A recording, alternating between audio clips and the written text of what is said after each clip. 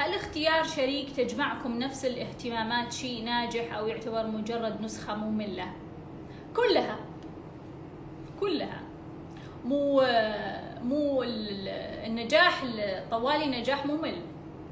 لا تنسى. لا تنسى.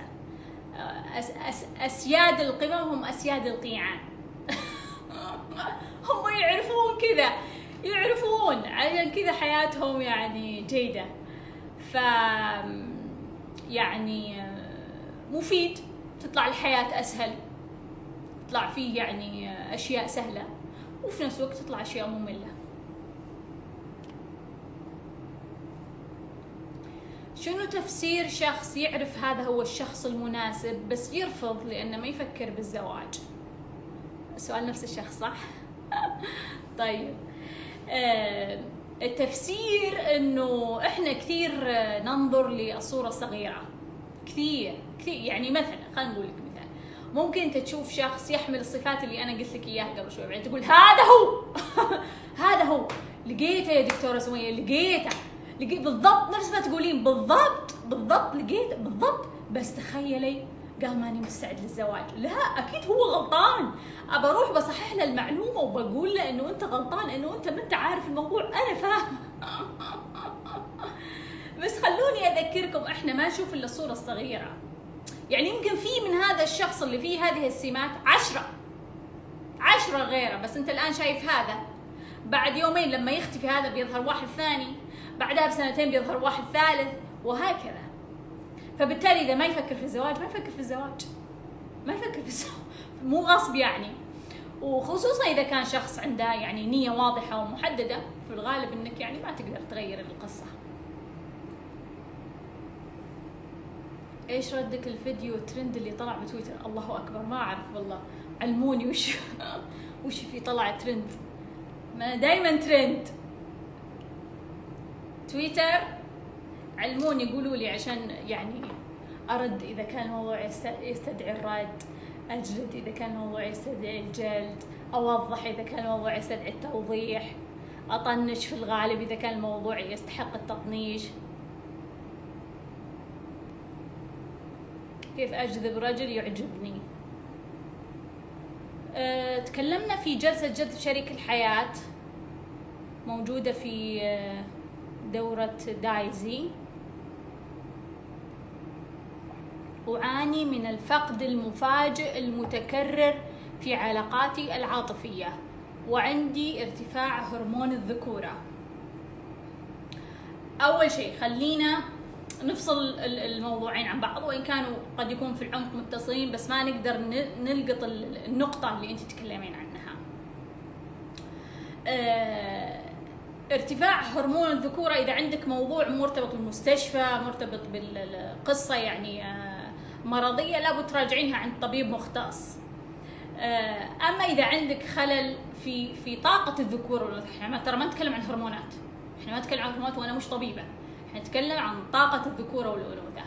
إذا عندك تشعرين إنه عندك خلل في طاقة الأنوثة والذكورة حان الوقت إنك تعدلين هذا الخلل.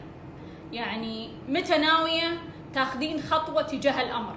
سواء تبغين تحضرين كورس عندي سواء تحضرين كورس عند أحد ثاني سواء تبحثين عن كتاب سواء تبحثين في اليوتيوب. ما دام حطيت النية راح تجدين الطريق. راح يتجلى لك الطريق. يعني لا يخلو لا لا يخلو آه، الطريق إذا في نية لن تعدمين الوسيلة. مهما كنت حتى لو ما عندك ولا فلس. حتى لو راح تظهر عندك هذا بس حطي النية إنه أنا اول شيء اعترفي قولي أنا عندي خلل في الذكورة طاقة الذكورة والانوثة وحطيت النية إني أنا أعدل هذا الشيء. راح تتجلى لك الطريقة بالشيء اللي يناسبك وبالطريقة اللي تناسبك حتى تنتهين من هذه القصة حتى تنتهين من هذه القصة. الشيء الثاني موضوع الفقد المفاجئ. قد يكون عندنا ما أستبعد إنه يكون عندك يعني قصة فقد قديمة في مرحلة الطفولة وبالتالي عندنا قصة يبغى لها تنظيف. يبغى لها يعني إيش تطلعينها من الوعي الطفولي القديم كذا وترتبينها وت- وتصلحينها وت- وتبدلينها. وقد يكون عندنا آه، أزمة تعلق. بمعنى إنه أنت في كل مرة يكون في علاقة يكون في كثير طاقة رايحة بالتالي في تعلق. فهذا التعلق آه، يستدعي الهروب. يستدعي الهروب. يعني في الغالب في الغالب في هروب في تعلق. في الغالب لأنه الطرف الثاني يضطر إلى ذلك بسبب كبر حجم الطاقة بالنسبة له. كثير كثير عليه هذه الطاقة فيضطر إلى الهروب يضطر إلى الهروب. وبطريقة مفاجئة يمكن نرجع للقصة الطفولية. ذلك عندك مجموعة من القصص المفروض إنك أنت تعالجينهم يعني ترتبين هذا الموضوع. موضوع الصدمات الطفولة وموضوع التعلق وموضوع موازنه طاقة الذكوره والأنوثة. هل من الممكن أن نعتمد على الأبراج في اختيار شريك الحياة؟ يعني مثلا طابقين خريطتين على بعض وبعدين تقولين okay okay هذول يتطابقون. وأنا مثلا ما شفت الشخص ولا حسيت بطاقة هذا الشخص.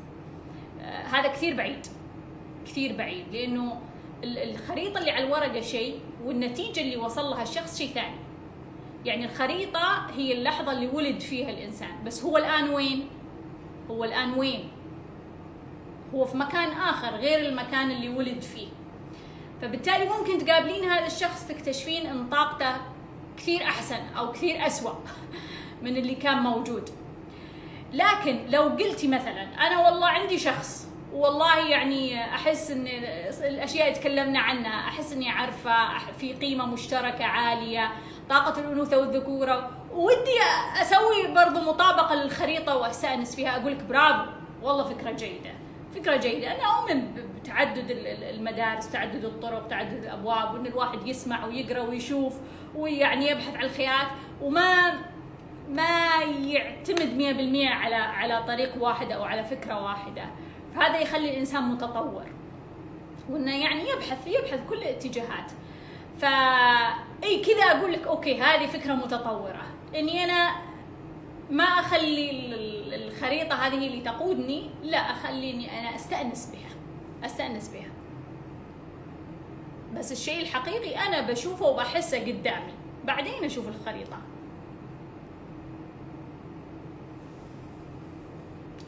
لماذا ينجذبون إلي أشخاص لا أستطيع أن أرتبط فيهم أو ما أكون مقتنعة فيهم؟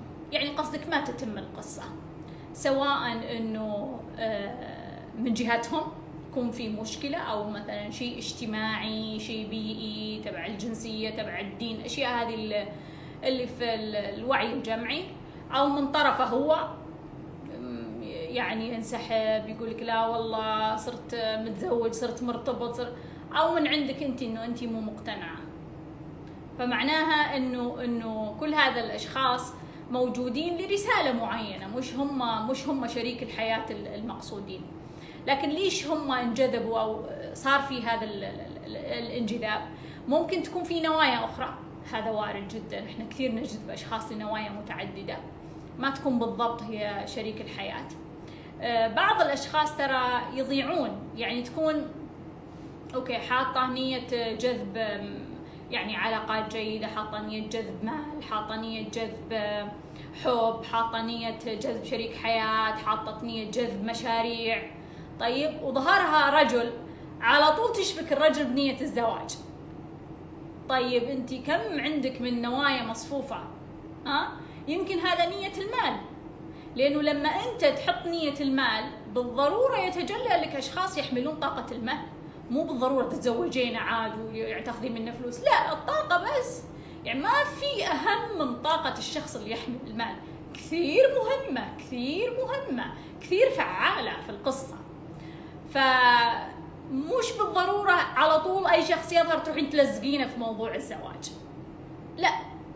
يعني سمات الزوج تكلمنا عنها قبل شوي صارت أوضح بالنسبة لنا ونحاول برضو نتكلم أكثر المرات القادمة. بس إنك ممكن تنتبهين للأشياء الثانية اللي موجودة في هذا الأشخاص وبما إنه في عائق في النهاية منع الزواج فمعناها هم مش موجودين للزواج هم موجودين شيء ثاني. فكونك إنك أنت تلزقين الموضوع في نية الزواج قد يفوت عليك النوايا الأخرى قد تفوتين عليك قصص أخرى أنت ما انتبهتي لها لأنك مركزة على تلك النية.